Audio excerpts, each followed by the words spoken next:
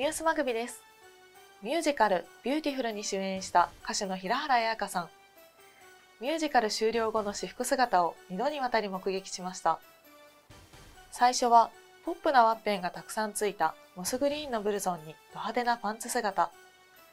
2回目は星が散りばめられた胸元の大きく開いたタイトなワンピース。そのファッションセンスには大きな振り幅がありました。ファンは彩香さんの私服が個性的なことは有名。いつも違った服装でどこで売っているんだろうってぐらい珍しいファッションなんですと明かしています。ニュースマグビ